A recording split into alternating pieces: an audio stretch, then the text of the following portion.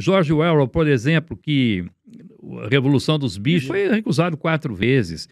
E assim várias obras. Então eu vou citando algumas para mostrar aquele que está lendo o texto que ele, se ele tiver dificuldade, não desanime. Exatamente, Porque na primeira, né? na primeira, na segunda, na terceira, na décima.